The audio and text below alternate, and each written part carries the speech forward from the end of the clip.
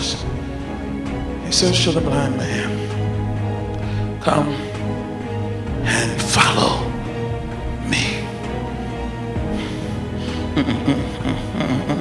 now, this is the insanity of God because he's blind. He did not bring himself there. But God says to him, Come and follow me.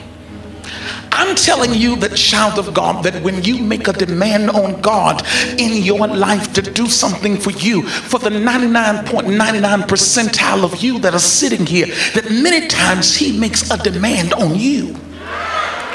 I got to I, I, got to deal with it because the trouble why some of us have not gotten what we desire from God is that He's asking for a commitment that seems to be much for you because of all of your limitations. He asks for you to love when you don't have a heart to love because you've been broken. He asks for you to give when it's already tight. He asks for you to stick yourself and become committed to service and work in your church when I barely got time for my own life. And He says to you, But God, how can I?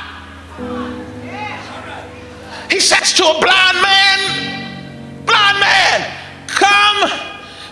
follow me.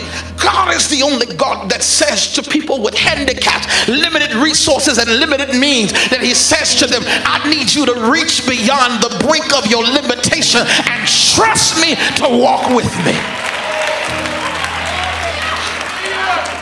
What gets me, what gets me, what gets me about the text is that he tells the blind man, he says, blind man, come and follow him. Now I always say this and I say it very well, that that blind man was like me. I'm a big brother and I loves to eat. And I'm sure that he couldn't make it to Big Mama's house that afternoon by following Christ. That I found out that God will never do anything in your life until you can leave your comfort zone. What's familiar, what's comfortable.